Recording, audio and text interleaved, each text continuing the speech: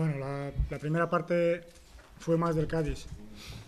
Y luego la segunda parte, pues creo que hemos hecho un gran trabajo. El equipo ha dado la cara en todo el momento y, yo estoy muy contento con el trabajo que hemos realizado hoy. Sí, bueno, el resultado tampoco me importaba mucho hoy. Yo lo que quería ver si el equipo se atreve a hacer las cosas en un campo como el Cádiz, en un escenario con un público en contra y estoy contento. Nosotros hemos ido por el partido, íbamos 1-1 y empate pues un punto no te da mucho, entonces yo quiero que el equipo vaya siempre por el partido. Y hemos corrido el riesgo de que nos pueden, sobre todo con la entrada de Aquinsola, sabíamos que era un futbolista rápido y que nos pueden hacer daño a la, contra. Y bueno, tampoco voy a limitar a mi equipo a, quitarse el fútbol que tiene por, cosas, por ganar un partido o empatarlo.